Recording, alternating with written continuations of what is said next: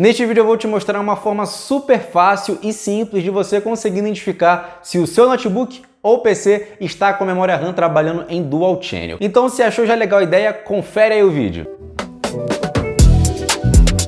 E para você conseguir identificar se o seu notebook está com memória RAM em Dual Channel, você precisa baixar o programa CPU ID. É só você colocar isso no Google e clicar no primeiro que vai aparecer que você já vai estar aqui dentro do programa. Eu vou deixar também o link na descrição só para né, ajudar vocês. Vocês vêm aqui na área de Windows se for Windows e se for Linux, infelizmente nós não temos aqui uma opção para isso, temos apenas também a opção para Android. Você faz todo o passo a passo, baixa, instala o programa e após você baixar e instalar ele, você abre, que também vai estar escrito CPU-Z, é você vai abrir o programa e abrindo assim o programa, você vai conseguir identificar. Olha só, ele vai aqui carregar e eu vou mostrar aqui para vocês. Aqui de primeiro ele mostra aqui a CPU, como é as informações gerais aqui do notebook, Intel i5, o seu processador, mas não é aqui o caso, olha só. Aqui temos a questão da memória RAM e olha só o que nós tanto queríamos saber,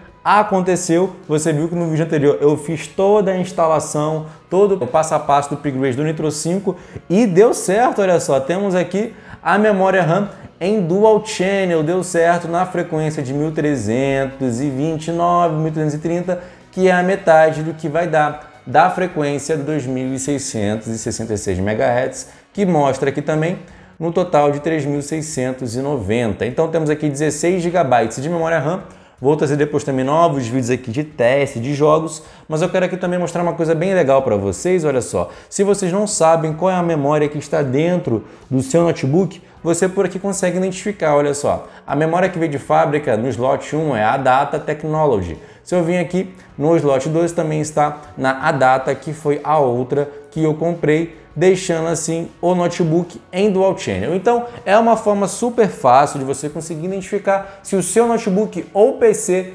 fica em dual channel. Eu espero que você tenha gostado aqui desse vídeo. Se gostou, deixe aí o seu like. Se inscreve no canal se é novo por aqui para ficar sempre antenado de todos os conteúdos que aqui sai de tecnologia muito interessantes para você. Eu vou ficando então por aqui. Um forte abraço, fiquem com Deus. Tchau, tchau.